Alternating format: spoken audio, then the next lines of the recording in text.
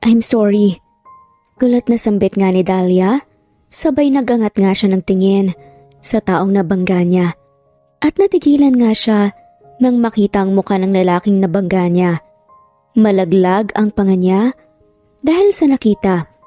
Sa totoo lang iniisip ngayon ni Dahlia na baka panaginip lamang ito kaya palihim nga niyang kinurot ang kanyang sarili. Ngunit nang maramdaman nga niya ang sakit, ay doon niya napagtanto na hindi nga siya nananaginip at totoong nasa harapan nga siya ng lalaki mula noong isang gabi. Ang naka one night stand niya. Hindi niya masabi kung galit ito dahil blanco lamang ang gwapong mukha nito. Tumingin ka sa dinaraanan mo, miss. Ang malamig nga na sabi sa kanya ng lalaki. Ah, pasensya na po, sir. Ang sasabihin dapat ni Dahlia ay hindi na nga natuloy nang may tumawag nga sa lalaki na isang magandang babae, si Lucy Lee, isang propesor ng universidad. Professor Choi, nandito na po pala kayo. Kanina ka pa namin hinihintay. May hinanda sila para sa'yo. Sumama ka na sa akin. Sabay na tayong pumunta sa kanila. At mas lalong hindi makagalaw si Dahlia sa kanyang kinatatayuan dahil sa narinig. Bago umalis, kasama nga si Mrs. Lucy ang binata, nagtataka na tinignan pa nga siya ni Lucy ngunit si Dahlia na natiling walang kibo. Kung ganun, ang lalaking yun, ang lalaking naka one night stand niya, ay ang bagong propesor sa university nila. Lagot na. Sige na, Dahlia. Inumin mo na yan. Udyok nga ng kaibigan niyang si Irene. Nako, hindi na. Tanggi naman ni Dahlia. Hindi ako umiinom eh. At saka kayo na lang ni Megan. Manunood lamang ako sa inyo habang naghihintay na maubos. Sige na, Dahlia. Inumin mo na yan. Ngayon lang naman eh. Sabi naman ni Megan sa kanya. Try mo sa una hindi mo magugustuhan, pero pag nagtagal na mag enjoy ka rin sa lasa. Sige na. Dahil nga sa kukulitan nga ng dalawa, napainom na nga lamang si Dahlia. Naubos niya ang isang glass ng alak, na kagad nga siyang tinamaan. Dahil nga, sa hindi nga siya sanay uminom ng alak. Kasalukuyan ngang nasa isang sikat na club sila dahil kanin ay inaya siya ng kanyang mga kaibigan na sumama sa kanila. Nung una pa nga ay ayaw pa sana ni Dahlia na sumama nga sa kanila ngunit kalaunan ay napapayag na nga rin siya dahil sa makulit ang kanyang mga kaibigan. Nang maugbos nga nila ang order ni Irene ay umorder pa nga ulit ang dalawa na para bang hindi man lamang tinatablan ng inunom nila samantalang si Dahlia tinamaan na nga talaga at halos umiikot na nga ang paningin niya. O Dahlia, uminom ka pa, sabi nga ni Megan habang inaabot nga sa kanya ang baso ng alak. Hindi ba ang sarap? Ngayon lang naman to, lubos-lubusin na natin. Saad naman ni Irene. Tila napasarap na nga rin ang pag-inom ni Dahlia na hindi nga niya namamalayan ay nakarami na nga rin siya nang nainom at nakakaramdam na nga siya ng hilo. Saglit lang, maiwan ko muna kayo, si Ar muna ako. Paalam nga ni Dahlia sa dalawa. Paghewang-gewang siyang naglalakad, dala ng kalasingan, habang hinahanap kung nasa ng CR. Ako naman, nahihilo na talaga ako eh. Ihingihi na ako, nasan ba kasi yung CR dito? Pabulong at naiinis na nga nasambit ni Dahlia sa sarili. What the? Lasing at inis, nasinghal sa kanya ng lalaki na nakabangga niya. Mapupungay ang mga mata ni Dahlia na tiningala nga niya ang mukha ng lalaki at sa halip na humingi siya ng despensa dahil nga nabangga niya nga ito, lasing pa nga nang umiti si Dahlia. Ang gwapo mo naman, sir. Get off me, woman. You reek of alcohol. Maarte at masungit na sambit nga ng lalaki at imbes na mainis si Dahlia, nakuha pa nga niyang matawa. At ang huling natatandaan ni Dahlia sa pangyayari na yon ay sinukahan nga niya ang estranghero na nakabangga niya At matapos nun, hindi na nga niya alam kung ano pa ang mga sumunod na nangyari. Hindi niya alam kung paano siya nagpunta sa sitwasyon na yon. Kung paano siya nauwi sa pakikipaghalikan sa isang estranghero dito sa loob ng isang red room. Pareho silang amoy alak. Hindi niya maalalang sumunod na mga nangyari. Nang gabing yon, walang kahit anong pag-alinlangan na sinuko niya ang kanyang pagkababae sa lalaking hindi niya lubusang kilala.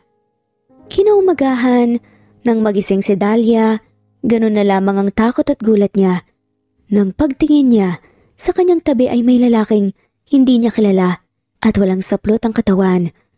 Mahimbing ang natutulog. Sa takot nga niya, dali-dali nga siyang nagbihis at tumakbo palabas ng kwarto. Tarantang-taranta nga si Dahlia na umuwi sa bahay nila habang inaalala kung ano nga ba talagang nangyari kagabi. Sa mga sumunod na araw, matamlay nga siyang pumasok sa university. Hindi pa rin maalis sa isip niya ang nangyari kagabi. Halos wala nga siyang tulog dahil sa sobrang kakaisip at halos sasabog na nga ang utak niya. Wala sa sarili na naglakad nga si Dahlia sa hallway. Naglalakbay pa ang utak niya kung saang lupalop ng mundo.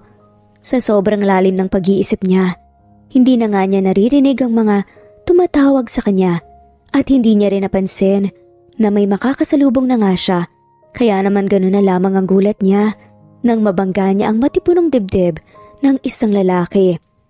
I'm sorry.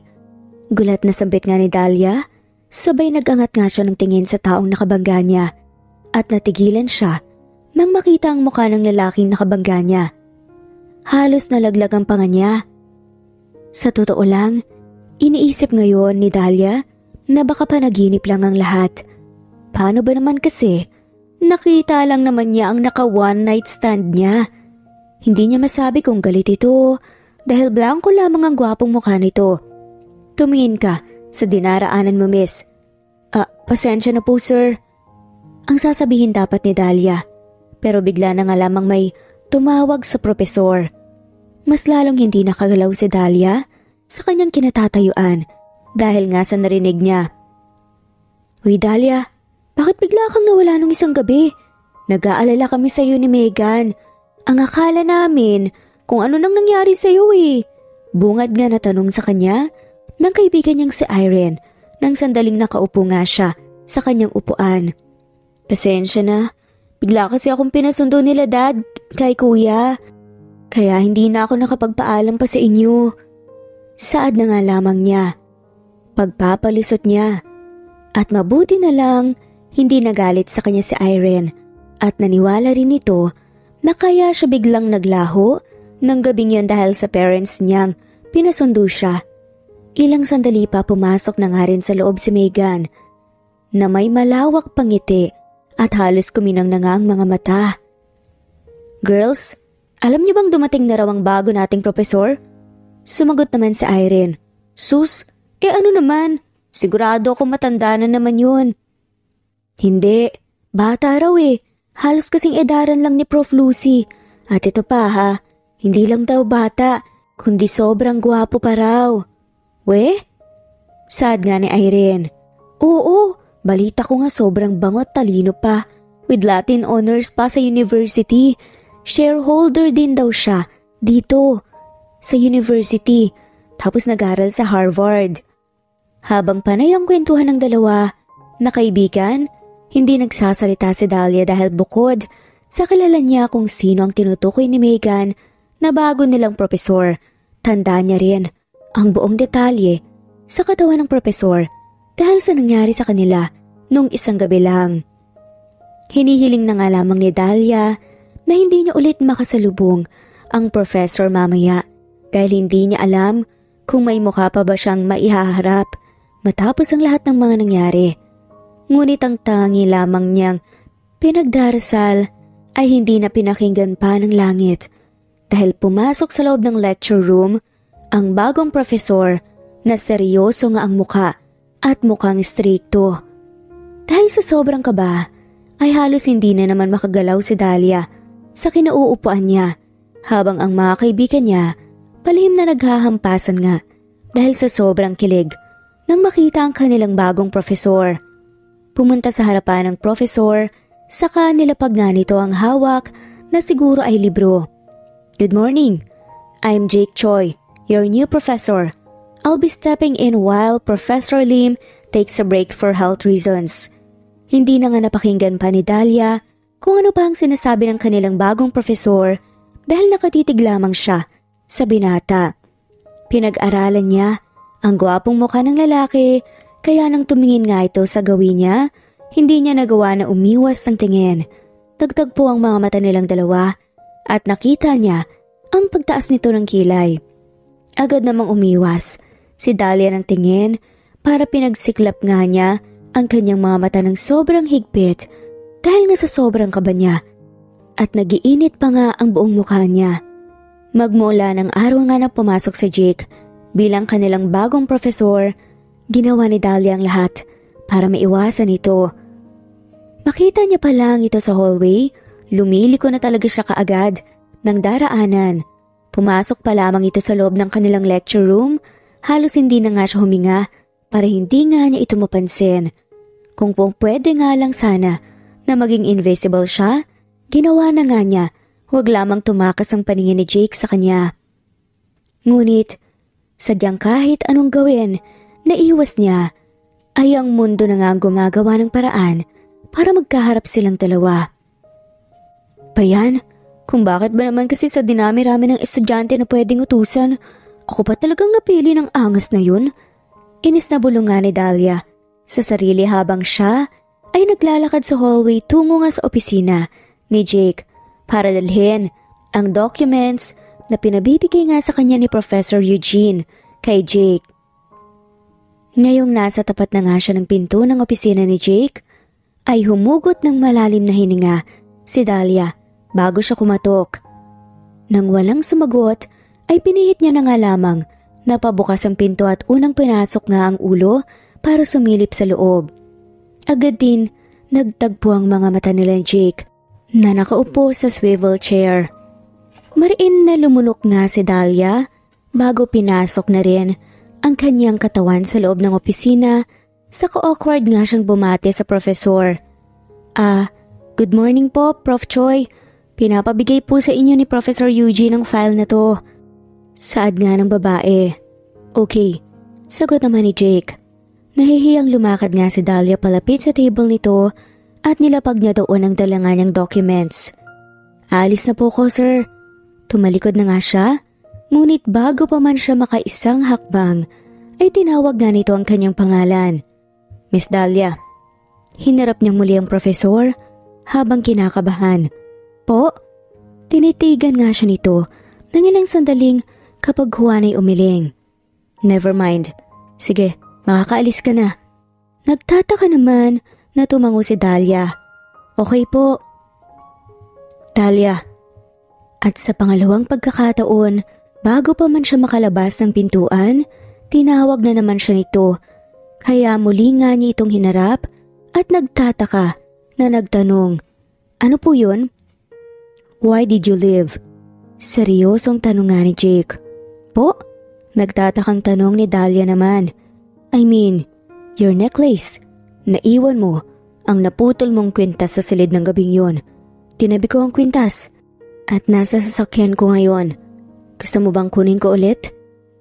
At ang kwintas nga na tinutukoy nito ay ang regalo pa sa kanya ng mommy niya kaya mahalaga yon para kay Dahlia. Kung kaya naman sinundan nga niya si Jake tungo sa parking lot kung nasa nakaparada nga ang sasakyan nito. Tanging silang dalawa lamang ang tao sa parking lot kaya mas lalong kinakabahan si Dahlia. At nagiinit nga rin ang buong mukha niya. Nang makuha nga ni Jake ang kwintas, mula sa loob ng sports car nito, humarap nga ito kay Dahlia. Here. Pinakita nga niya ang kanyang kwintas at binaranda nga nito. Ngunit, nung akmang aabutin na nga sana ni Dahlia, bigla namang nilayo ni Profesor ang kamay sabay dumukwang palapit sa mukha niya. Kaya natigilan si Dahlia dahil sobrang lapit nga ng mukha nila sa isa't isa. Nanlalaki ang mata ni Dahlia habang nakatitig nga siya sa mga mata ni Jake. na may kung anong mapaglarong kislap. Ilang beses na ngang napakurap nang mabilis si Dahlia, sabay mariina na palunok. Gumuhit naman ang ngiti sa labi ni Jake. Ganun ba kahalaga para sa iyo ang kwintas na to para sundan mo ko? Gayong nagdaang linggo, ginawa mo na siguro ang lahat para iwasan ako. Seryosong saad nga ni Jake kay Dahlia. Sandaling lumipat ng tingin ni Dahlia sa kwintas na hawak nito. Regalo po kasi sa akin yan ng mommy ko. Gift ha? Ang cute. Napahakbang ng isang beses paatras nga si Dahlia nang mas ilapit pa nga ni Jake ang mukha sa kanya. Sa sobrang bilis nga rin ng tibok ng kanyang puso ay para bang anumang segundo mahuhulog na nga yan sa sahig. Ang gwapo talaga ng bagong professor no? At saka lamang lumayo sa kanya si Jake at umayos ng tayo nang marinig nila ang boses ng babae. Kasama nito ang isa pang kaibigan at masayang nag-uusap ang dalawa. Oo nga eh, pero feeling ko may something sila ni Miss Lucy Lee. Bakit mo naman nasabi? Eh kasi, lagi ko silang nakikitang magkasama eh. Saka hindi mo ba nakikita kung paano tumitig si Miss Lucy kay Professor Choi? Nakagat nga ni Dahlia ang ibaba niyang labi, saka nagbaba nga ng tingin. Hindi niya alam kung bakit bigla nga siyang nakaramdam ng lungkot sa kanyang narinig. Nararamdaman niya rin na tumingin nga sa kanya si Jake kaya nag-angat nga ulit siya ng mata sa profesor. Professor Choi! Sabay nagulat nga na sambit ng dalawang babae nang makita nga sila. Ah, good afternoon po, Professor. Bahagya namang ngumiti si Jake sa dalawa. Good afternoon. Nagtataka pa na lumipat nga ang tingin kay Dahlia ng dalawang babae at bahagya nga lang itong nginitian. Let's go, Dahlia. Sabi nga ni Jake sa kanya. Sumunod pa nga na mga araw ay mas lalo ngang napapadalas ang pagkukrus ng landas nilang dalawa ni Jake. Kahit anong gawing iwas ni Dahlia ay tila wala ng epekto lalo pat nasa kanya na nga lagi ang mata at atensyon ni Jake. Isang buwan nga mula nang nag one night stand nga sila ng kanyang profesor, nagsimulang makaramdam ng kakaiba si Dahlia sa kanyang katawan. Madalas siyang mahilo at magsusuka. Not to mention na ilang weeks na nga lang delayed ang mens niya. Sobrang naging sensitive si Dahlia na may maamoy lamang na hindi maganda ay maduduwal na nga siya. Sobrang sensitive nga ng kanyang senses ngayon. Kaya nga hindi niya maintindihan ang kanyang sarili. Nang hindi matiis ng mga magulang niyang mga katanungan, kinumpronta nga siya ng mga to. Anong ibig sabihin nito, Dahlia? Buntis ka ba? Pagalit na tanong nga sa kanya ng kanyang ina nang makita nga ang dalawang kulay pulang guhit sa pregnancy test na ginamit niya. Umiiyak naman na tumango si Dahlia. I'm sorry, mom. Sad nga nito. Sino nga man ang batang yan? Galit naman na tanong ng kanyang ama. Hindi sumagot si Dahlia at nakayuko na nga lamang siya. Hindi niya pa nga maaaring sabihin na ang ama ng dinadala niya ay walang iba kundi ang kanyang profesor dahil batid niya na mas lalo lamang magagalit sa kanyang kanyang mga magulang. Umamin ka sa amin, sinong ama niyang dinadala mo? Pagalit na pag-uulit nga ng kanyang ama sa sinabi nito, Mom, hayaan niyo muna siya. Pagpigil nga ng nakatatanda niyang kapatid na si Luke sa magulang nga nila. Baka hindi pa po siya handa na sabihin sa atin kung sino nga man ang pinagbubuntis niya. Hayaan niyo po, Hayaan muna natin siya na makapag-isip at hintayin hanggang sa handa na siya. Bagaman nagagalit pa rin, nakinig ang mga magulang nila sa sinabi ng kanyang nakakatandang kapatid. Binigyan nga siya ng isang linggo para iharap sa kanilang ama nang dinadala niya. At sa totoo lang, hindi nga alam ni Dahlia kung paano niya sasabihin sa ama ang tungkol sa pagbubuntis niya. Hindi niya alam kung paano niya ipagtatapat kay Jake. Natatakot siya na baka magalit sa kanya si Jake. Pero mas higit siyang natatakot dahil baka itakwil naman siya ng kanyang mga magulang. Kung hindi susundin ang gusto nila. Kaya paglipas nga ng ilang araw na pag-iisip at paglikom nga ng lakas ng loob na pagbasyahan nga ni Dahlia na harapin si Jake at ipagtapat dito ang tungkol sa dinadala niya. Ngayon, ngang magkaharap na sila, sa loob nga ng lecture room, na tanging silang dalawa lamang ang tao, hindi na alam ni Dahlia kung paano niya sisimulan ng mga sasabihin niya. Mabilis ang tibok ng puso niya dahil sa kaba at putlang-putla na nga siya ngayon. Kaya nagtaka naman si Jake. Are you okay? Bakit namumutla ka? May gusto akong sabihin sa'yo. Kabadong-kabado ang boses, nasaad nga ni Dahlia at nag-aalangan ang kanyang itsura. Ano yun? Pagtataka ni Jake. Tungkol sa nangyari sa atin noon, yung tungkol sa one night stand. Anong problema doon? Kasi... Malakas nga na napamura si Jake dahil bago pa man nga ni Dahlia matapos ang sasabihin, bumagsak na nga ito sa sahig dahil nawalan nga ito ng malay. Agad na binuhat nga ni Jake si Dahlia nang bigla na nga lamang itong nahimatay sa harapan niya. Dinala nga niya ito sa klinik ng university at doon pinatingin sa nurse. Nahimatay po siya, dala ng stress. Sabi nga sa kanya ng nurse, buntis po kasi ang student na to, kaya this past few days siguro naharap siya sa sobrang stress kaya nangyari ito sa kanya. Halos malaglag naman ang panga ni Jake. Dahil sa sinabi ng nurse, hindi siya makapaniwala. She's what? Buntis siya? Yes, Professor Choi. Base po dito, sa lumabas na resulta, hindi ko alam kung alam ng student ang tungkol dito.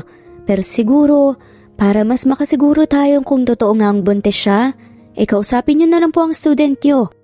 Na magpatingin sa Obigayni. Hindi nga alam ng dalawa. Habang nag-uusap sila, nagkamali na nga rin si Dali at narinig nga nito ang pag-uusap.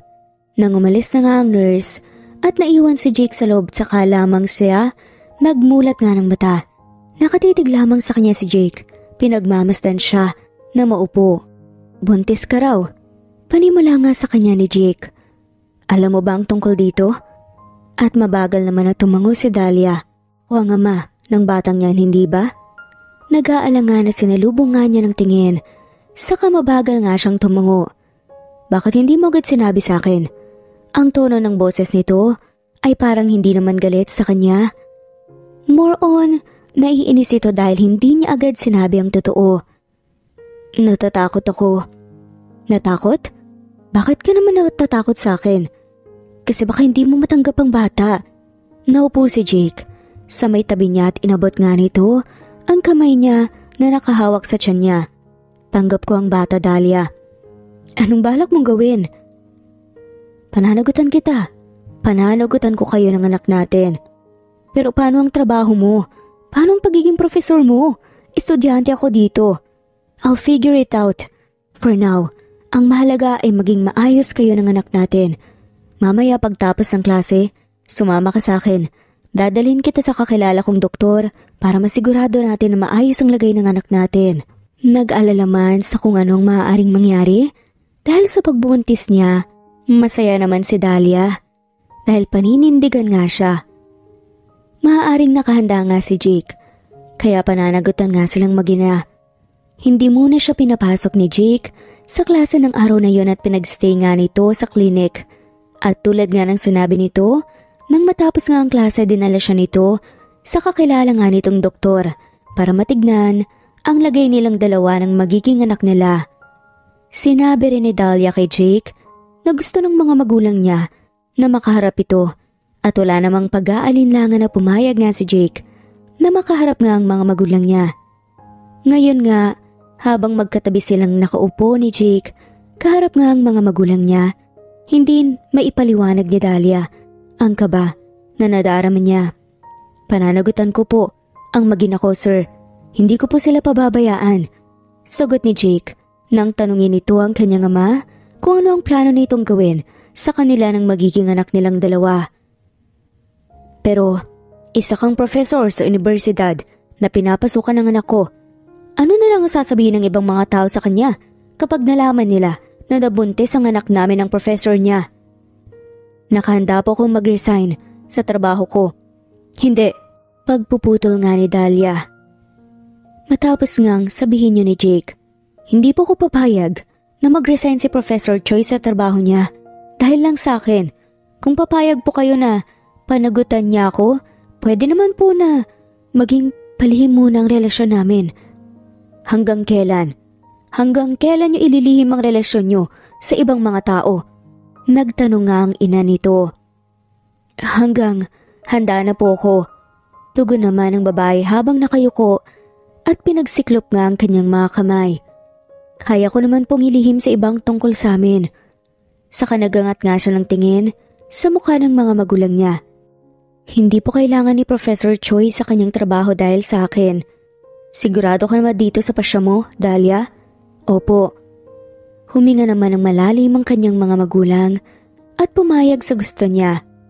Sunod nga nilang pinag-usapan ng tungkol sa kasal dahil ang gustong mangyari ng kanyang mga magulang ay pakasalan din siya ni Jake. Hindi raw sapat na panagutan lang sila nitong magina. Kailangan din daw na iharap siya nito sa altar at pumayag naman si Jake sa gustong mangyari ng mga magulang niya. At dahil nga sa parehong may mga kanika nilang mga pamilya, lalo na si Jake, ay naging madali lang ang naging paghahanda para sa kasal nilang dalawa. Ang gusto nga ng mga magulang ni Dahlia ay agad silang ikasal. Para nga, hindi nakakahiya pag nalaman na buntis nga siya. Kung kaya naman ang kanyang mga magulang, pinaghandaan nga ang kasal. Tumulong nga talaga sila. Kahit ilang linggo lamang ang preparasyon. Ngayon nga nagaganap na nga ang kasal nilang dalawa. Kunti lamang ang mga bisita na dumalo sa kanilang kasal at pribado lamang yun. Para nga ang isang secret marriage. Ang mga magulang ng nila at ibang mga kamag-anak ang present. Nang araw nga na mismong kasal nila ay ang unang beses na nakilala ni Dahlia ang mga magulang ni Jake na mabuti na lang mababait sa kanya at tanggap na tanggap siya sa kanilang pamilya. You may now kiss the bride. At nang sandaling marinig ni Dahlia ang mga katagang yun mula sa pare na nagkakasal sa kanila, nanlamig ang kamay niya at pinagpapawisan. Mas lalo ring bumilis ang tibok ng puso niya, lalo na nang alisin nga nang napakagwapong si Jake ang suot niyang belo at nilapit nito ang mukha sa kanya. Naipikit nga ni Dahlia ang kanyang mga mata at sumunod nga niyang naramdaman ay ang malambot na labi ni Jake sa labi niya. Mabuhay ang bagong kasal! Sabi nga ng pare kaya napuno ng palakpakan ng simbahan. Hinapit naman ni Jake ang bewang niya palapit sa katawan nito. Sabay halik nga sa kanyang noo at sabi ngang, Pangako, aalagaan ko kayong dalawa nang magiging anak natin kahit anong mangyari, asawa ko. At tinupad nga ni Jake ang pangako nito sa kanya. Nagmula nang ikasal nga sila, tumira na nga sila sa iisang bahay at walang araw na hindi nga siya nito inalagaan. Kahit pa sobrang busy ito sa trabaho, lagi pa rin siya nitong inuuna. Alagang-alaga siya ni Jake. Kaya maging kahit ang university, lihim nga ang relasyon nilang dalawa kaya naman patago rin ang pag-aalaga nito sa kanya. Sa kanila ng magiging anak nila para walang maghinala. Sigurado ka bang hindi ka sasama sa amin sa cafeteria, Dahlia? Di ba? Wala ka pang pagkain? Eh, hindi ka ba nagugutom? Tanong sa kanya ni Irene na inaayos nga ang bag. Ah, hindi. Ayos lang ako, kayo na lang. Sagot naman ni Dahlia. Nagtataka sa kanyang dalawa na kaibigan pero hindi na nga rin siya pinilit ng mga to na sumama kahit papunta na nga sa cafeteria dahil sa mukhang wala nga talaga siyang mood at iniwan na nga siyang mag-isa sa lecture room. Ang totoo niyan ay hindi maganda ang pakiramdam ni Dahlia. Mula kaninang umaga Masama ang pakiramdam niya. Bago kasi siya pumasok sa university, kasabay nga ni Jake, naduduwal nga siya. Ang sabi naman sa kanya ng kanyang asawa, huwag na nga muna siyang pumasok at magpahinga na nga lamang sa kanilang bahay pero makulit si Dahlia. At pumasok pa rin. Baka kasi may mamiss nga siyang mga activities o quizzes. Hindi alam ni Dahlia kung nasa ng kanyang asawa dahil sumabay itong lumabas kanina sa ibang mga students na nagkukumahog lumabas. Mag-isa lamang si Dahlia sa loob ng lecture room. Nakasubsob ang kanyang muka sa lamesa at ginawa nga ring una ng kanyang dalawang braso. Nang may marinig nga siyang nagbukas ng pinto at mga yapak ay nagangat nga siya ng tingin. Naglalakad palapit Sa kinauupuan niya ang kanyang asawa na nasa likod nga ng dalawang kamay. Bakit? Mahinang tanong niya nung nasa harapan na nga niya ito. May nilapag nga itong coffee milk at sandwiches sa harap niya. Kumain ka muna. Hindi naman ako nagugutom eh. Hindi ka kumain kanina bago pumasok. Kaya sigurado kung gutom ka na ngayon. Kumain ka na. Kailangan niyo yan ng anak natin. Bilin nga ni Jake. Sadyang walang ganang kumain ngayon si Dahlia. Feeling niya kasi, ano man ang kainin niya, ay isusuka niya lang din naman kaya naman tinitigan nga niya ang bigay sa kanya ng kanyang asawa. Nagalala naman si Jake habang nakatingin sa kanya. Dumuko ang ito palapit sa mukha niya sabay nilipat nga nito ang kamay sa kanyang noo. Wala ka namang lagnat ah. Masama pa rin ba ang pakiramdam mo? Gusto mo ba umuwi na tayo? Hindi na ayos lang ako. But you don't look okay to me. I'm fine, don't worry. Ilang segundo pa nga siyang tinignan ni Jake. At nang makita nga na wala talaga siyang balak na pumayag sa gusto nito, umuwi na nga muna sila. Umayos na nga ito ng tayo sabay huminga ng malalim. Kung ayaw mong umuwi, kumain ka man lang muna. Hindi pwedeng walang laman ang sikmura mo. Marami ang sinuka mo kanina. Baka makasama yan. Puno ng pag-aalala. Ang boses nga at mga mata ni Jake habang nakatingin sa kanya. Nang hindi pa rin kumilo si Dahlia, inabot nga nito ang noo niya at inalis ang hibla ng buhok na dumikit doon. Kung ayaw mo niyan, may iba ka bang gustong kainin? You can tell me, bibilhin ko para sa'yo. Professor Choi! Biglang pumasok na sa loob ng lecture room ang isa pang professor kaya naman agad na lumayo sa kanya si Jake. Pareho silang gulat na gulat nang tumingin nga si Prof. Eugene na nagtataka naman na nakatingin sa kanilang dalawa. Nasaan ang iba? Bakit kayong dalawa lang ang nandito? Sumagot nga si Jake. Lumabas na sila. Nagpapaturo lang sa akin si Del, I mean si Miss Dahlia. Dahil may hindi siya naiintindihan na tinuro ko kanina. Nagpabalik-balik pa nga sa kanila ang tingin ni Professor Eugene. Ah, ganun ba? Hindi pa rin ba kayo tapos? We're done actually. May kailangan na kayo sa akin, Professor Eugene? Oo, sumama ka na sa aming mag-lunch. Kasama natin ang ilang mga professors. Andun din si Miss Lucy Lee. Kanina ka pang hinihintay eh. Hindi pa nga siya nagsisimulang kumain. Eh hintayin ka daw. Nang dahil nga sa sinabi ni Professor Eugene, tumingin sa kanya si Jake nang may pag-aalangan. Tumango naman si Dahlia. Kahit pa ang totoo ay ayaw niya sana umalis ang asawa niya at sumama kay Professor Eugene para makasama si Miss Lucy. Pwede niyo na po akong iwan, sir. Naintindihan ko naman po ang tinuro niyo sa akin. Salamat po sa oras.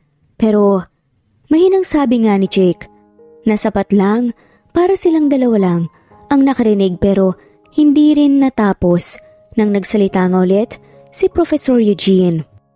Eh ikaw Dahlia, dito ka ba kakain sa loob? Binali nga ni Dali ang tingin sa matandang profesor. Ah, opo, medyo tinatamad po kasi ako eh, na pumunta sa cafeteria. Ah, ganun ba? Sige, magingat ka dito, mamaya papasok na rin naman ang ilan pang mga estudyante. Opo sir, salamat. Hinatid na nga lamang, nang tingin ni Dali ang asawa na bago lumabas ang pinto, ay lumingon pa nga muna. Sa kanya tinanguan nga lang niya. Ang totoo niyan, ang isa pa sa mga dahilan kung bakit masama ang pakiramdam ni Dahlia ay dahil sa kanyang asawa at kay Miss Lucy. Nitong mga nagdaang araw kasi, naging malapit nga ang dalawa. Halata rin ni Dahlia na may gusto si Lucy sa kanyang asawa. Madalas itong magpakita ng motibo na hindi naman alam ni Dahlia kung napapansin ba ni Jake at sobrang halata ni Miss Lucy sa tuwing tumitingin nga sa kanyang asawa. Oo, Nagsiselos siya. Sino na naman kasi ang hindi magsiselos? Napakaganda ni Miss Lucy. At kapag naging sila ni Sir Jake, walang ki-question dahil pareho sila ng profession. Marami nga rin ang nag-ship sa dalawa eh. Di tulad nilang dalawa. Gusto nga naman niya nasabihan si Jake na lumayo-layo kay Lucy at hindi niya naman magawa. Bukod doon, sa pakaramdam niya wala naman siyang karapatan dahil nga sa kinasal lang naman sila dahil sa nabuntis nga siya nito. Hindi niya sigurado kung mahal ba siya nito. Bukod pa roon ay imposible na nga rin para kay Jake na iwasan nga si Lucy dahil sa magkatrabaho ang dalawa. Feeling din kasi ni Dahlia kung sasabihin niya yon kay Jake ay parang napakaisip bata naman niya. Nag-aalala rin siya na baka ganun din ang isipin nito sa kanya. Prof. Choi, hindi ka ba talaga sasama sa amin? Manonood kami ng sine. Mas masaya sana kung kasama ka namin. Naglalakad nga si Dahlia sa parking lot tungo na sana sa sasakyan ng kanyang asawa nang marinig niya ang boses ni Miss Lucy. Nakita niya itong kausap nga si Jake na nakatayo sa nakabukas na pinto ng sasakyan. Sobrang ganda ni Miss Lucy sa suot nga nito na kulay brown na coat. Para itong isang modelo at bagay na bagay nga sila ni Jake kung titignan dalawa. Ang gusto rin ng iba, sumama ka sa amin, Professor Choi. Sige na, pagbiyan mo naman kami. Kahit ngayon lang. We enjoyed the same things. Same vibes tayo, ba? Sa sobrang titig nga ni Dahlia sa dalawa, hindi nga niya namalayan na napatigil na nga rin pala siya sa paglalakad.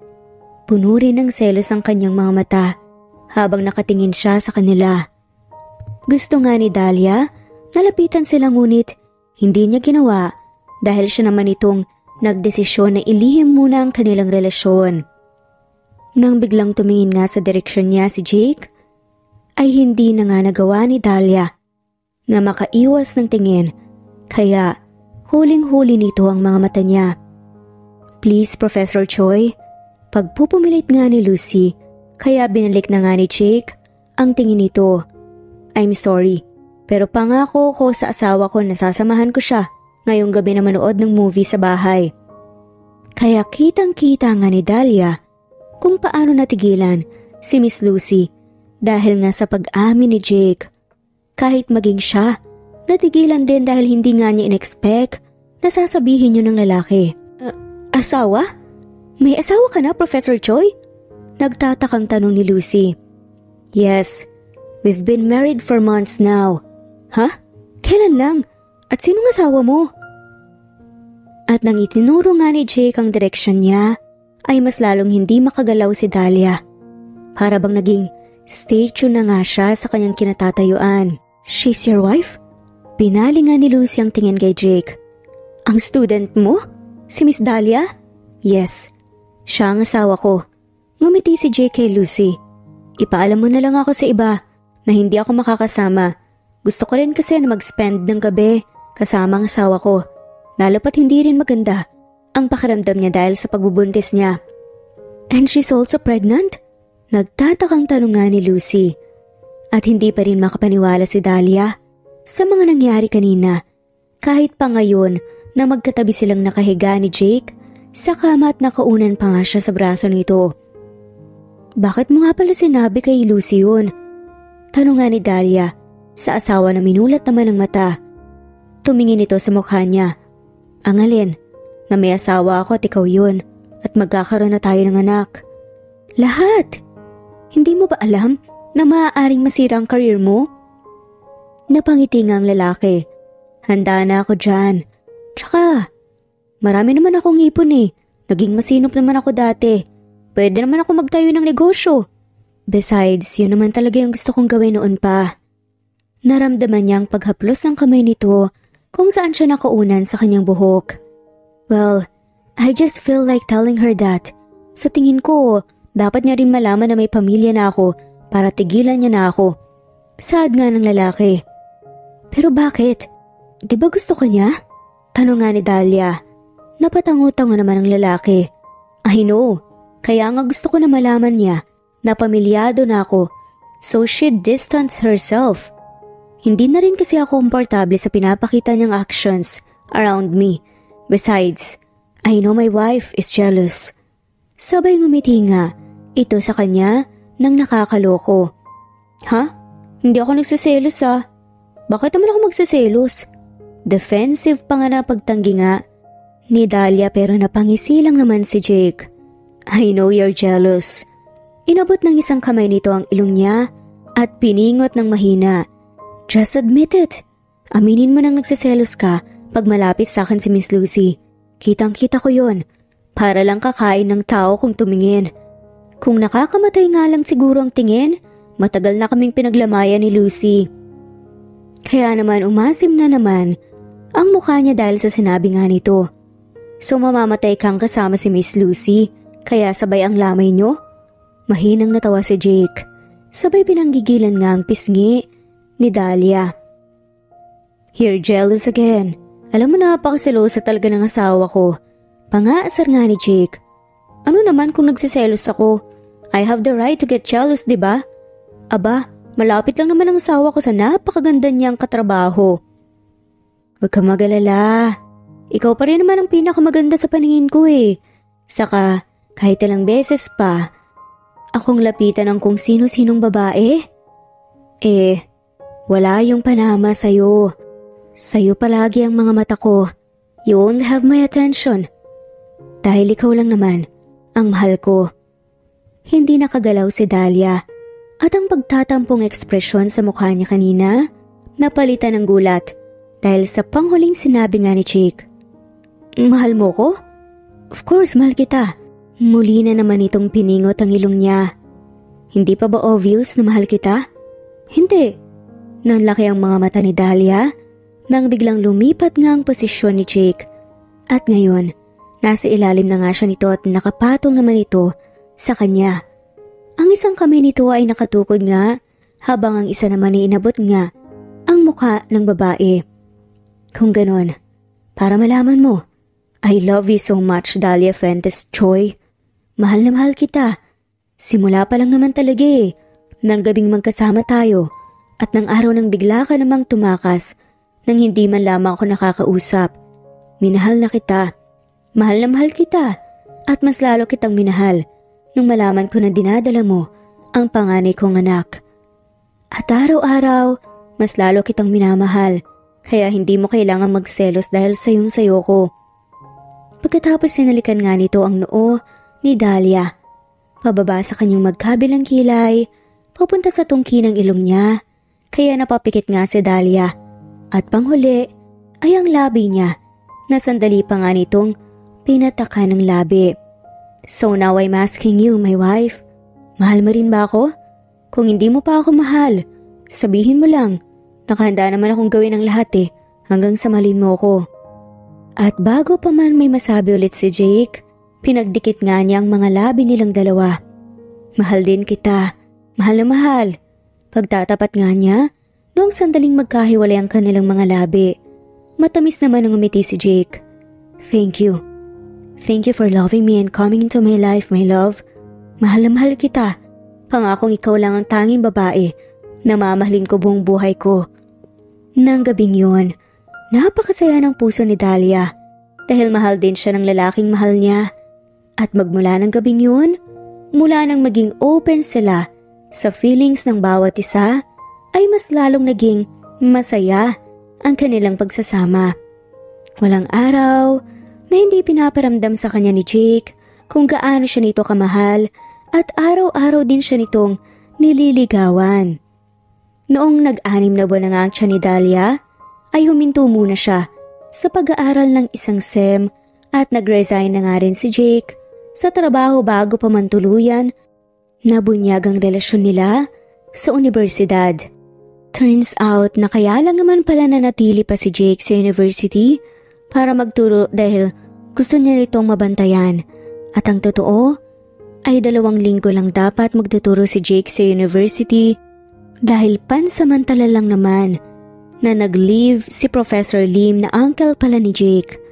Ngunit nang dahil nga kay Dahlia ay pinili nga ni Jake na mas manatili pa roon ng mas matagal.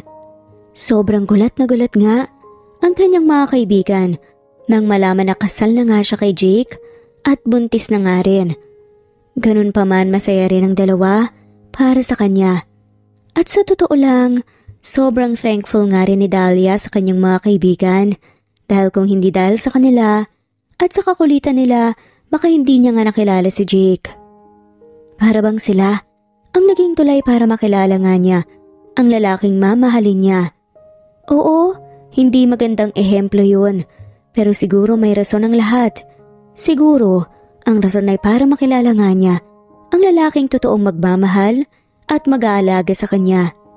At tungkol naman sa pag-aaral niya, gagawin pa rin naman niya ang dapat niyang gawin at aabutin pa rin niya ang kanyang pangarap at naniniwala siya na susuportahan nga siya ni Jake kahit na nga ano ang maging desisyon niya. At ang desisyon nga niya ay abutin pa rin ang pangarap niya kahit na nga magiging ganap na ina na nga siya. Habang mula nga nung nag-resign si Jake sa trabaho, nag-focus na nga lamang ito sa kanilang kumpanya at sa pag-aalaga sa kanya at magiging anak nila. Mabilis nga na lumipas ang mga araw at buwan hanggang sa naging taon yon nang halos hindi nila namamalayan.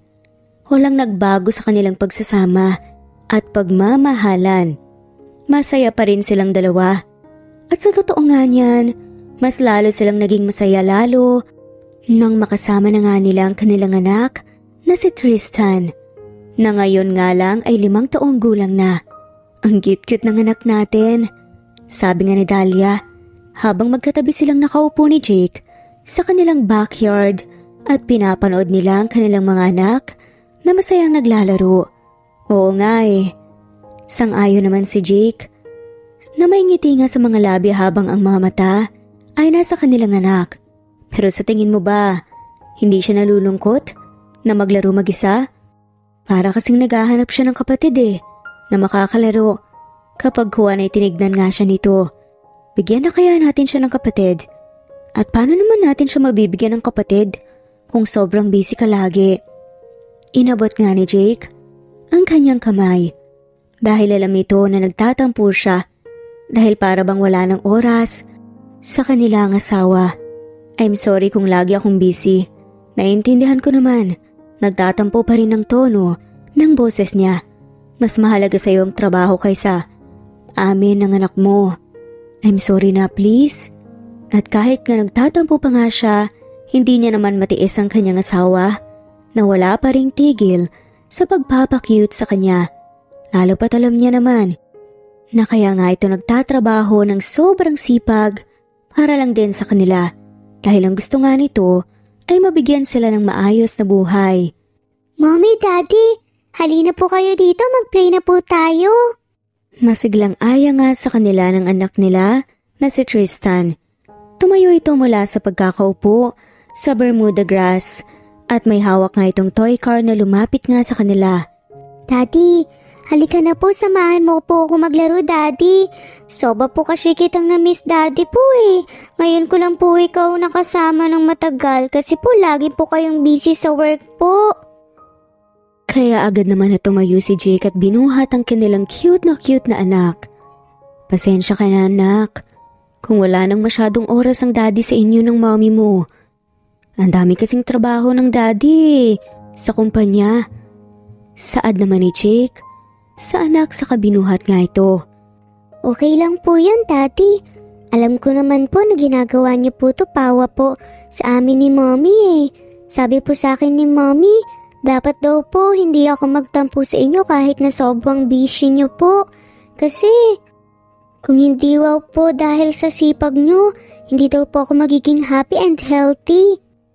Sagot nga ni Tristan sabay yakap nga sa lieg ng ama. At kahit nga bulol-bulol pa ngang magsalita ay sobrang daldal talaga ng kanilang anak. At ang pinakagusto nito ay ang daddy nito na kamukhang kamukha nga ni Tristan. Love na love po kita, Daddy. Love na love ko po kayo ni Mommy. At humalik pa nga si Tristan sa pisngi ng ama. Tumayo na nga rin si Dali at lumapit nga sa kanyang mga mag-ama. Yumakap din siya mula sa likod ni Jake at hinalikan niya ang pisngi ng anak at napahagikik na nga lamang sunod ay ang pisngi naman ng kanyang asawa. Love na love ka rin ng mommy mo, baby. Daddy, Mommy, gusto ko po ng baby brother. Pawa po. May kaplay na po kapag busy po si Daddy sa work. Habang naglalaro nga sila ay bigla na lamang nag-request ang kanilang anak kaya natigilan si Dahlia habang si Jake naman ay natawa. Oo naman anak, ilang kapatid ba ang gusto mo? Tanong pa nga ni Jake. Pinakita naman ni Tristan ang limang daliri. Five po, kaya naubo-ubo na nga lamang si Dahlia habang si Jake naman ay tumatawa. Oo anak, Huwag kang mag-alala. Bibigyan ka naman ng mommy mo ng limang kapatid kahit doble pa. Pinanlakihan nga niya ito ng mata habang si Tristan ay sobrang tuwang-tuwa at napayakap pa nga sa ama. Ngayon tila kailangan niya na lang talaga na ihanda ang sarili at matres lalo pa ngayon na nag-request ng anak nila ng kalaro. Nang araw nga na yun ay ginugol lang ni Jake ang buong araw para makipaglaro sa kanilang anak.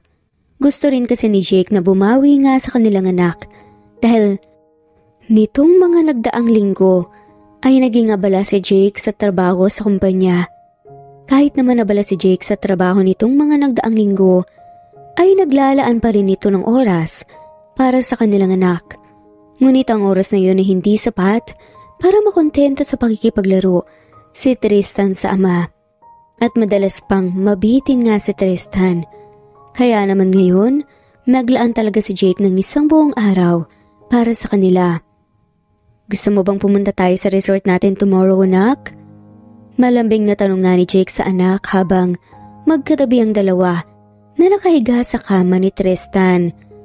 Katatapos lang mag-shower ni Jake at ang gusto nga ng kanilang anak ay magkatabi nga silang matulog ngayong gabi. Talaga po, Daddy? Pwede po ba talaga tayong pumunta doon bukas?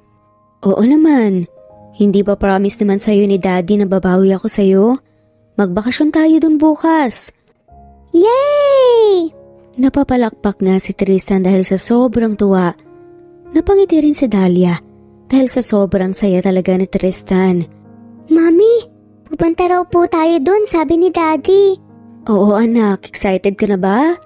Opo, Mami. Super excited na po ako kasi ngayon lang po ulit sasama si Daddy sa atin eh.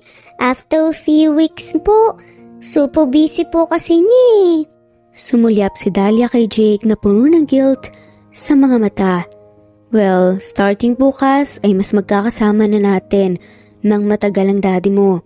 Gusto mo ba yon? Tumango-tango naman ang cute na bata. Hanggang sa makatulog ay walang tigil nga si Tristan, kakadaldal, tungkol sa kung gaano ito ka-excited para sa pagpunta nila sa resort bukas. Hating gabi na nga, nung biglang makatanggap nga ng tawag si Jake. Base sa mukha ni Jake, bago sinagot ang tawag ay tila may emergency nga ito. Nang matapos ang makikipag-usap nga ni Jake, sa kabilang linya ay nilapitan nga ni Dahlia, ang asawa dahil mukhang inis na inis na nga ito. Bakit? Anong nangyari? Huminga ng malalim si Jake. Nagkaroon ng problema ang kumpanya sa Russia. Nagkaroon daw ng problema sa contract signing. Kailangan kong pumunta doon sa lalong madaling panahon para maasikasong problema. Bukas mo na kailangan pumunta? Taka kong tanong nga ng babae. Yes, unfortunately. Then ihahanda ng mga gamit mo para bukas. Mga ilang araw ka ba mananatili noon? Imbes na sumagot ay yumakap ito sa kanya ng mahigpit. I'm sorry my love. Alam kong nangako ko sa iyo, sa inyo ng mga anak natin, na inyong-inyo nga ako sa loob ng isang linggo at hindi mo na magpapaabala sa trabaho. Shh, naiintindihan ko naman. It's an emergency. Pareho nating hindi inaasahan yun. Marami pa namang ibang panahon para Matuloy ang family outing natin, di ba? Kumalas na nga si Jake. Saya ka pa tumingin nga sa mga mata niya. Bakas pa rin ang guilt doon. Nagigilty na. Ako eh. Nag-promise kasi ako sa anak natin na mamamasyal tayo. Sobrang excited pa naman niya. Tapos bigla na lang hindi matutuloy. Inabot nga ni Dali ang mukha ng asawa at masuyo nga niya itong hinaplos. Maintindihin naman ng anak natin kung alis ka. Sa tingin mo ba, hindi na ako nagiging isang mabuting ama sa anak natin? Halos laging wala na akong oras para sa kanya. Ang oras na nilalaan ko para sa inyo, eh tila hindi na nga nagiging sapat. You're a great father, Jake. Kung tatanungin mo ang anak natin ay alam ko na ganun din ang sasabihin niya. Palagi niyang ang pinagyayabang sa mga nakakalaro niya na sobrang swerte niya na ikaw ang naging ama niya. Ilang linggo ka lang naman naging busy eh, at hindi naman natin may iwasan yun, lalo na't may business ka na kailangan ng buong atensyon mo. But being busy with work doesn't mean you're a bad father. Para sa amin ang anak natin, ikaw ang pinaka-best dad sa buong mundo. And of course, best husband. Kaya wag mong isipin na hindi ka isang mabuting ama, okay? Mahigpit ulit siya nitong niyakap at humingi pang ulit ng sorry sa kanya. And Dahlia felt bad dahil halatang halata sa mukha ni Jake na nagigilty nga ito at nag-aalala dahil aalis na naman nga ito. Pero kailangan, dahil kailangan na kailangan nga ang presensya nito sa Russia. Hindi nila ito napaghandaan. Kinabukasan nga, nang magising si Tristan ay sobrang excited pa rin ito na pumunta sa resort na pag-aari nila ngunit ang excitement ni Tristan ay naglaho nang malaman nito na aalis pala ang ama niya. Aalis po kayo, Daddy? Akala ko po ba mamamasyal po tayo nila, Mommy? Malungkot ang boses nga na saad ni Tristan. Oo anak eh, nagkaroon kasi ng malaking problem ang business natin sa Russia. Kaya kailangan kong pumunta doon ngayon. Bagaman nalulungkot, at tumango na nga lamang rin sa Tristan. Okay po dati. Huminga naman ng malalim si Jake. Bago ito, nag-crouch down sa harapan nga ng anak na malungkot. I'm sorry anak. Alam kong nag-promise ako sa iyo kahapon pero... Okay lang po yan, Tati. Naintindihan ko naman po eh. Sabay ngumiti nga si Tristan para hindi na nga malungkot ang ama. Promise sa'yo ni Daddy na kapag naayos ko ang problem sa business, babawi talaga ako sa'yo, okay? Babawi ako sa inyo ng mommy mo. Ngumiti si Tristan sa ama. Opo, Daddy. Tatandaan ko po yan, Daddy. And take care of your mom habang wala ako, okay? Opo, Daddy. Tuwang po kaya ako. Take care po si Mommy. Ginulugulo pa nga ni Jake ang buhok ng anak. That's my boy. Naiiyak nga si Tristan nung umalis nga ang ama ngunit dahil nga sa nag-promise ito na magiging strong ito para sa kanya at sa ina niya, hindi nga to umiyak. Mommy, wait lang po natin si Daddy po, ano? Yes anak, gusto mo pa rin ba na pumunta tayo sa resort kahit tayong dalawa lang? Umiling si Tristan. Hindi na po, Mami. Wait na lang po natin si Daddy. Mag-play na lang po ko dito. Masabi po kasi kapag kasama natin si Daddy eh. Pag nakabalik na po si Daddy, saka na lang po tayo pumunta sa resort. Bago nga umalis ang replano na sinasakyan ni Jake, ay tumawag pa nga muna ito sa kanya para makausap nga ang kanilang anak. At nalaman niyang umiyak nga ito. Pigil na pigil nga ang pagiyak ni Tristan habang kausap ang ama sa tawag. Hanggang sa magpaalam na nga si Jake dahil magte-take off na nga ang aeroplano. Nag-promise ito sa kanila na tatawag pag nakalapag na nga ang sinasakyan ngunit sumapit na nga lamang ang hapon nung sumunod na araw. Wala pa rin silang tawag na natatanggap mula kay Jake. Nakakapagtaka yun dahil noon naman kahit gaano ka busy nga si Jake, sa trabaho tumatawag talaga ito sa kanila. Lalo na pag nasa business trip nga ito. Pero ngayon, wala tong paramdam sa kanya. Mommy, hindi pa po ba nagko-call si Daddy? Tanong nga ni Tristan habang naglalaro nga ito sa living room. Umiling naman si Dahlia. Hindi pa anak eh. Wait lang natin na baka busy lang ang daddy mo, okay? Sad naman ito. Okay po, mami. Gusto mo bang magmerienda muna? Paghahanda kita. Opo, mami. Gusto ko po yung cookies. Habang naglalakad nga siya papasok sa kusina, ay hindi pa rin maalis ang mga tanong sa isipan niya tungkol sa kanyang asawa. Bigla na lang kinutuban ng masama si Dahlia, kaya naman sinubukan nga niyang tawagan ng cellphone ni Jake. Pero hindi niya pa rin makontak, maging ang sekretary ni Jake ay sinubukan niya rin tawagan. Ngunit pati ito hindi nga niya rin makontak. Hewan niya ba kung bakit ganito na lang ang kaba at pag-aalanan niya ngayon? Pinilit niyang alisin. Sa isip niya kung ano man ang mga Iniisip niya dahil alam niya na may stress lamang siya. Iniisip niya na lang na baka busy nga ngayon ang asawa niya. Huminga ng malalim si Dahlia bago nilapag nga ang cellphone na hawak sa isang counter. Hinanda na nga rin niyang merienda ng anak at matapos niyang may handa ang request nitong cookies, lumapit nga siya sa ref para kumuha nga ng isang baso ng tubig ngunit hindi malaman ang dahilan, bigla na lamang nadulas ang baso mula sa kamay niya. Dahilan para mahulog nga at mabasag yun. Matinding ka ba? Ang bumalot sa pagkatao ni Dahlia dahil doon. Agad siyang yumuko at pinulot nga ang nabasag na baso kung ano-ano ang pumapasok sa utak niya. Lalo pat alam niya ang tungkol sa kasabihan na pag may nahulog raw na baso ay posible na may masamang nangyari sa mahal mo sa buhay. Tumatakbo nga pumasok si Tristan sa kusina. Nang marinig nga mula sa salang nabasag na baso. Mami, what's wrong po? May narinig po akong nabasag na glass oh. Tumakbo nga ito sa tabi niya nang makita ang basag na baso. Nasugatan po ba kayo, Mami? Ayos lang ako anak. Nadulas lang naman sa kamay ko ang baso, lumayo ka na muna. Baka ikaw pang masugatan dyan. Habang pinupulot nga ni Dahlia ang mga nabasag na bote, ay tumunog nga ang phone niya mula sa counter. Tumayo si Dahlia at lumapit doon. Sinagot na nga rin niya ang tawag mula sa hindi kilalang numero. Hello? Hello, is this Dahlia Choi? Wife of Jake Fernandez Choi? Boses yun ng isang babae at sa hindi malamang dahilan, kumalubog nga ang kanyang dibdib at mas lalo nga siyang kinabahan. Uh, yes? Is there a problem? This is to confirm that your husband took a business flight to Russia yesterday, right? Uh, yes. Mami, kinalulungkot ko po. Ang balita sa inyo ng eroplanong sinakyan ng asawa niyo, nagkaroon po ng aberya. Habang nasa impapawid, kung kaya bumagsak po ito. Hindi agad nakakaibo si Dahlia. Sa mga narinig na agad namang pumatak ang luha sa mata. Ano po? E nasan po ang asawa ko? Ligtas ba siya? Sa ngayon, wala pa po kaming balita ma'am.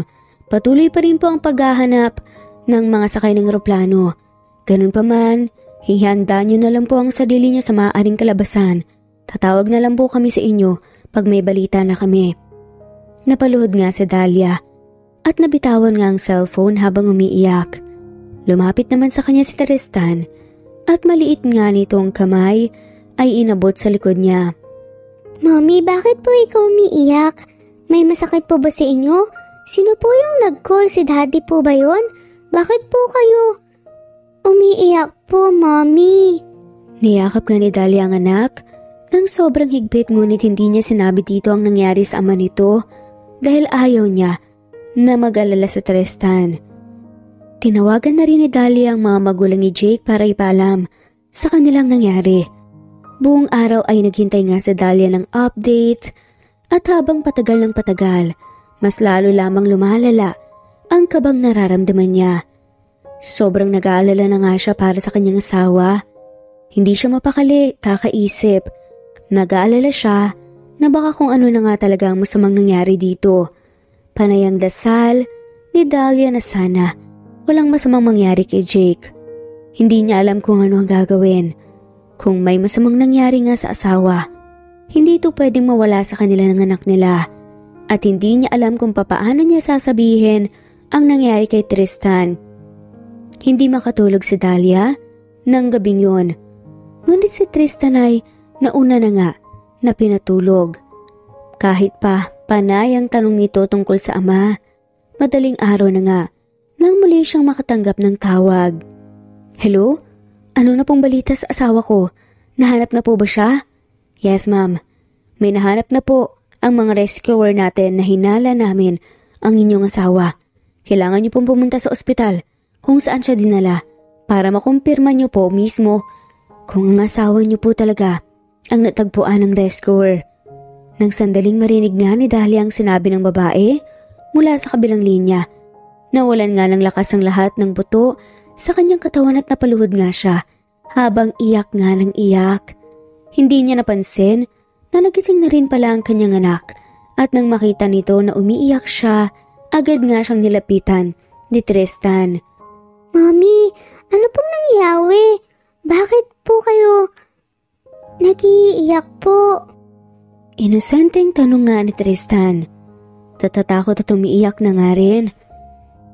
A- anak ang daddy mo. Bakit po mami? Ano pong nangyari kay daddy? Bumagsak daw ang sinasakyan niya anak. At ang sabi ng mga rescuer, posible daw ang daddy mo ang nasa ospital. Ano po? Niyakap nga ni Dahlia ng sobrang higpit ang kanyang anak. I'm sorry anak. Panayang iyak ni Tristan dahil sa nalaman at pinantahan naman ito ng mga yaya niya. Kinaumagahan ni dumating nga ang mga magulang ni Jake at ang magulang nga niya para damayan siya. Nang umaga rin yun ay agad na nagtungo si Dahlia sa ospital kung saan nga ang sabi ng rescuer. Kasama niya ang kanyang anak at mga magulang ni Jake. Ang mga magulang ni Jake ang may buhat nga kay Tristan. Dahil pakiramdam nga ni Dahlia na wala ang lahat ng lakas niya. Sinamahan siya ng isang doktor tungo nga sa morgue at doon ay naroon nga rin ang ilan sa mga pulisya. Ma'am, Nakuha po namin ito mula sa kanya sa aming natagpuan. Nandito po ang picture nyo at ng inyong anak kaya naisip po namin na baka asawa niyo po talaga itong natagpuan namin. Mari po ba itong matignan at kumpirmahin kung asawa niyo po ba? Kailangan po natin ng kooperasyon niyo. Tinanggap nga ni Dahlia ang kwintas. Unang tingin niya pa lang, alam niya na agad nga kung kanino ang kwintas. Nakilala niya agad ang kwintas na ito ay ang regalo niya kay Jake noong 4th wedding anniversary nilang dalawa. Uh, sa kanya nga po ito, pagkumpirma nga ni Dahlia. Kung ganun, ikinalulungkot po naming sabihin na asawa niyo nga po siya at ang katagang yun ang pinakaayaw nga ni Dahlia na marinig sa buong buhay niya. Parang tubig sa alon ang pagbuhos ng luha niya at mahina ang katawan na lumapit siya sa katawan na natagpuan. No, hindi pa tayo ang asawa ko. Buhay pa siya. Patuloy nga ni Dahlia. Sa malakas sa paghiyak at dinaluhan naman siya ng ina ni Jake. Si Tristan nilayo muna ng lolo para hindi nga marinig ang sinasabi nga ng mga rescuer. Inalo nga siya nito. Mama, okay lang po si daddy, hindi po ba? Hindi niya po tayo ulit tiniwan. Inalo na nga lamang niya ang anak. Oo naman. Buhay siya, babalik pa siya. Ngunit, batid naman nila pareho ang totoo. Pinapaniwala lang nila ang kanilang mga sarili dahil parehas nga silang hindi makatanggap sa nangyari. Sa kabila ng mga pruweba, may pinakita nga sa kanila ng rescuer, hindi pa rin kumbinsido si Dahlia na ang katawan nga ay ang katawan ng kanyang asawa. Kahit na may mga pruweba naman ang magpapatunay na ang asawa nga niya. Ang nandoon o ang natagpuan, ayaw niya pa rin paniwalaan. Hindi niya matanggap at isa lamang ang naisip na paraan ni Dahlia para mas masigurado na asawa niya nga ang natagpuan sa sasakyan na hindi makilala dahil sa lasog-lasog na katawan. Hinila niya kung maaari ay magpa-DNA test para makumpirma kung si Jake nga yun.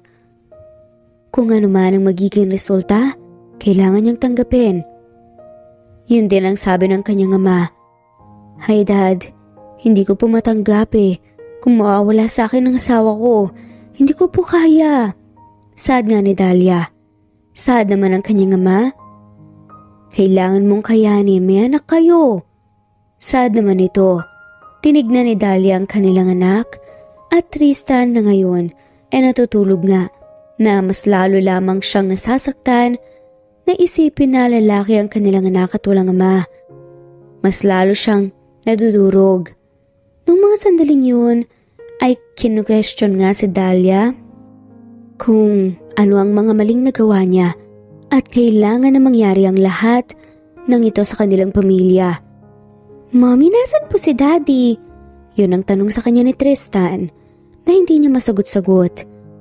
Ayaw niya pang sabihin sa kanyang anak na posibleng wala nangangaman nito. Ayaw ni Dahlia na masaktan ng sobra si Tristan kahit pa naghahanda na nga ang kanilang mga magulang sa magiging libing nga ni Jake ay inilihim pa nga rin ang totoo kay Tristan. Mahahanap din ang daddy mo, okay? Mag-wait lang tayo sa tawag ng mga naghahanap sa kanya. Pumatak nga ang luha sa mga mata ni Tristan. Bakit po ang sabi nila Yaya ay patay na raw po si Daddy? Pinigilan nga ni Dahlia ang mga luha niya na nagbabanta na mahulog. Sa kaniyakap nga niya ng mahigpit ang anak. Hindi totoo yun anak, okay? Buhay pa ang daddy mo. Naniniwala ako't nararamdaman kong buhay pa siya. Ayoko po mawala si Daddy, Mommy. Hindi ko po kakayanin kung mawawala si Daddy. Ako rin anak. Kaya mag-pray na lang tayo na ligtas pa sana ang daddy mo, okay? Opo, Mommy. Magpe-pray po ako before po mag-sleep na maligtas po si Daddy. At tila pinakinggan nga ng langit ang dasal ng magina dahil bago pa man lumabas ang resulta ng DNA test ay may tumawag na nga sa kanila para sabihin na nagkamali ang mga rescuer at ang bangkay na natagpuan ay hindi sa kanyang asawa na si Jake. Buhay pang araw ito nang matagpuan ng mga rescuer. Ang katawan ni Jake kasalukuyan nga sa ospital, malapit nga kung saan ito natagpuan. Sa ngayon ay nasa mabuting kalagayan na nga ang asawa nito. Um, kaya po siya walang malay sa ngayon dahil sa marami rin po ang nawala sa kanyang dugo dahil sa mga sugat na natamo.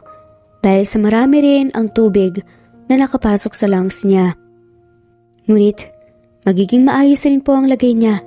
Posible na maya-maya lang po magising na siya. Imporma nga sa kanila ng doktor. Maaari niyo na rin po siyang makita. Tawagin niyo na lang po ako kung may problema o kapag nagkamalay na. Nagpasalamat si Dahlia. At kasama nga ang kanyang mga anak, ay pumasok na nga sila sa loob ng private room kung saan nga ang kanyang asawa na wala pa ring malay. Nang makita nga ni Tristan ang mga ama, agad na bumuhos ang mga luha nito dahil sa saya. Ang inakala kasi ni Tristan na wala nang hangaman nito. Wala pa ring malay si Jake. Ngunit masaya sila. Nabuhay ito. Hindi pa ito kinuha ng mundo sa kanila. Puno rin ng galos ang mukha ni Jake. Ngunit mas mainam na ganun na nga lamang ang mga natamo niya kesa tuluyan nga itong mawala sa kanila. Samantalang habang nasa ilalim nga ng mahimbing na tulog, napapanaginipan nga ni Jake ang mga nangyari sa kanya noon habang nasa loob siya ng pagbagsak ng eroplano. Nang mga oras na yon, ang nasa isip lang ni Jake ay ang kanyang pamilya at ang makaligtas para makabalik sa dalawa. Kahit ng mga oras na yon ay tila imposible pa nga makaligtas, ay ginawa ni Jake ang lahat para lang makaligtas siya at makabalik ng buhay sa kanyang pamilya.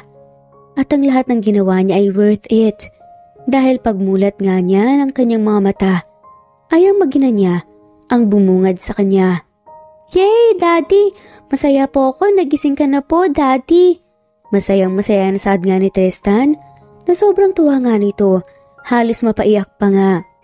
Namiss ka na po namin, Daddy. Masaya rin po ako nakasama ka na po ulit namin ni Mommy. Sabi po kasi nila Yaya, wala ka na raw po, pero hindi po ako naniniwala sa kanila eh. Dahil alam ko po na buhay po kayo at babalik po kayo sa amin ni Mommy dahil yun po ang promise niya sa amin. Pinahid nga ni Jake ang luha sa mga mata ng kanyang anak. Patawarin mo ako kung pinag-alala ko kayo. Sad nga nito. Okay lang po yun, Daddy. Ang mahalaga po, magkakasama na po ulit tayo. Niyakap nga ni Tristan ng sobrang higpit. Ang ama habang si Dahlia naman ay walang tigil sa pagbuhos ng kanyang mga luha. Sobrang saya nang nararamdaman ni Dahlia ngayon na may malay na nga ang kanyang asawa at kasama na ulit nila ito. Tila ba nawala ang mabigat na bagay na nakapatong nga sa dibdib niya at nakahinga na nga siya ng maluwag ngayon na nandito nga ulit ito. Natakot ako. Ang akala ko na wala ka na talaga sa amin ng tuluyan.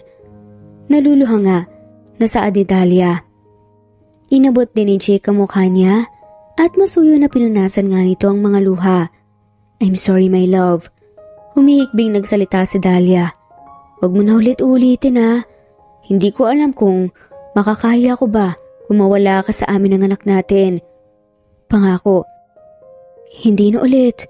Mauulit ang nangyari. Hindi ko kayo iiwan ng anak natin. Hindi na ako ulit. Lalayo sa inyo. Dapat lang no, pakiramdam ko mababaliw kaya ako dahil sa nangyari. I'm sorry my love. Nagyakapan nga silang tatlo at nangako rin nang paulit-ulit si Jake na kahit kailan, hindi na nga ulit mauulit ang nangyari. Matapos ang ilang araw, napananatili nga sa ospital na kalabas na nga rin sa wakas si Jake. Dahil sa sobrang natakot nga si Tristan sa nangyari sa ama, ay halos hindi na nga ito umalis sa tabi ni Jake. Kahit nga hanggang pag-shower, gusto pa ngang samahan ni Tristan ang ama at naiintindihan naman nila yun. Love na love ko po kayo, mommy, daddy. Malambing na sabi nga ni Tristan sa kanilang dalawa habang naka higa nga sa gitna nilang dalawa. Huwag niyo po akong iiwan na. Love na love ko po kayo ng sobwa pa po. Sa sobwa. Mahal na mahal ka rin namin. Wika naman ni Dahlia sabay pareho nga niyang hinalikan. Ang noo ng magaman niya. Nang mga sandaling yun, wala nang ibang mahihiling pa si Dahlia. Ibinalik ng Diyos sa kanila si Jake at hindi nga nito hinayaan na mapahamak at lumaki na walang ama si Tristan. Sobrang swerte at saya niya dahil biniyayaan nga siya ng isang masayang pamilya at mapagmahal na asawa. Ang pangako ni Dahlia sa sarili ay gagawin niya ang lahat para mapasaya ang kanyang pamilya kahit anong mangyari ay gagawin niya araw-araw na makita lamang na masaya ang mag-iina niya. And as for Jake, sumumpa naman siya na kahit kailan, hindi na ulit siya malalayo sa kanyang magina at gagawin niya rin ang lahat para mapasaya ang dalawa. Ang pinaka-importante sa buhay niya, ang kanyang magina at ang mga susunod pa nilang magiging anak. Pinangako niya rin sa kanyang sarili na araw-araw nga niyang ipaparamdam sa kanyang magina kung gaano niya nga sila kamahal at kung gaano sila kahalaga sa kanya.